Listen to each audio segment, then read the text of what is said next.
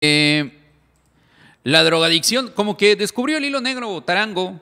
Eh, aguas con este tipo de declaraciones, no vaya a ser que se los lleven ahí los, rusos, los gringos, porque pues, está diciendo algo que, no estamos tan enterados, ¿no?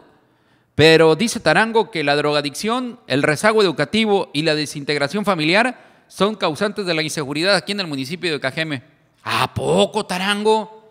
Fíjate, no, no lo había pensado yo por ese tema, por ese lado, ¿eh? O sea, yo creo que nadie de los que estamos viendo este espacio de noticias habíamos pensado que por culpa de la drogadicción y la venta de drogas y todo este rollo, eh, eh, estaba el, el, el, tema de la inseguridad, los homicidios y todo este rollo. Pero ya lo dijo Tarango, puede ser que tenga razón. ¿eh? Impresionante, la verdad. La otra cosa, el rezago educativo. A ver, de rezago educativo, ahí sí yo... Lo, lo que dije anteriormente fue con sarcasmo. Sí, se dio cuenta, usted perfectamente bien, amigo del auditorio. Pero, rezago educativo, ¿a qué se refiere con rezago educativo? Ahí sí como que la inseguridad no tiene nada que ver con el rezago educativo. Que me perdone Cándido Tarango, pero su declaración está fuera de contexto totalmente. Ejemplos les puedo dar los que usted quiera, guste y manda. Hay gente que ni siquiera ha terminado la primaria ni la secundaria, amigo del auditorio. Y es la gente más honrada, honesta y trabajadora del mundo. Casos, los que quiera. Mi padre llegó hasta secundaria nada más. Mi madre hasta primaria. Tenían un tremendo rezago educativo. No les daba para más asistir a las instituciones educativas. Pero a sus hijos les exigieron a todos universidad, licenciaturas y maestrías. Incluso hay gente con doctorado en mi familia. ¿Rezago educativo? Por favor. Cuando vayan a dar una declaración, hay que estudiar bien lo que dicen, Tarango.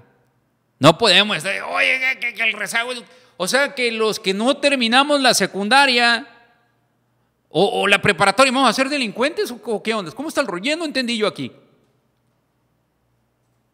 Y los que tienen una maestría, ellos, ellos, o sea, no van a ser delincuentes porque tienen una maestría. Aguas, aguas con lo que se declara. Ahora bien, la desintegración familiar también dice Tarango que por culpa de eso hay muchos delincuentes. El titular de la Secretaría de Seguridad Pública Municipal atribuye la inseguridad aquí en el municipio de Cajeme a aspectos como la adicción a las drogas. Aquí sí coincido, pero le insisto, donde de plano no avalo su comentario es cuando dice que el rezago educativo y la cultura de los jóvenes y la desintegración familiar. La inseguridad que azota todo el municipio de Cajeme es el resultado de la adicción a las drogas, el rezago educativo y cultural de los jóvenes y la desintegración familiar, aseguró el capitán Cándido Tarango. El secretario de Seguridad Pública Municipal manifestó que las medidas preventivas contra el delito se han incrementado y se han mantenido en acercamiento con los tres órdenes de gobierno para cambiar la estrategia precisamente de seguridad. Todo Cajem es afectado por la inseguridad, pero los generadores de la violencia son la drogadicción y lo vuelve a repetir, el rezago cultural y educativo en los jóvenes y la violencia familiar también.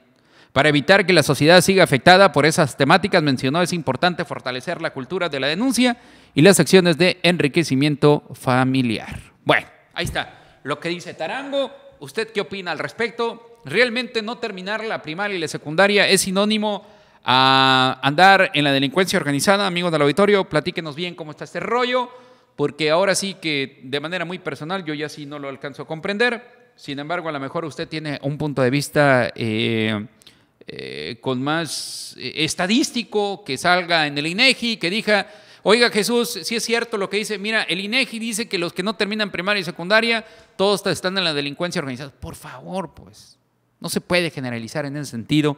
Sí, la disputa por eh, la comercialización de la droga, eso sí, claro, por supuesto que es el problema que tra traemos aquí en Ciudad Obregón, pero que diga que el rezago educativo, ahí sí como que, como que nomás no.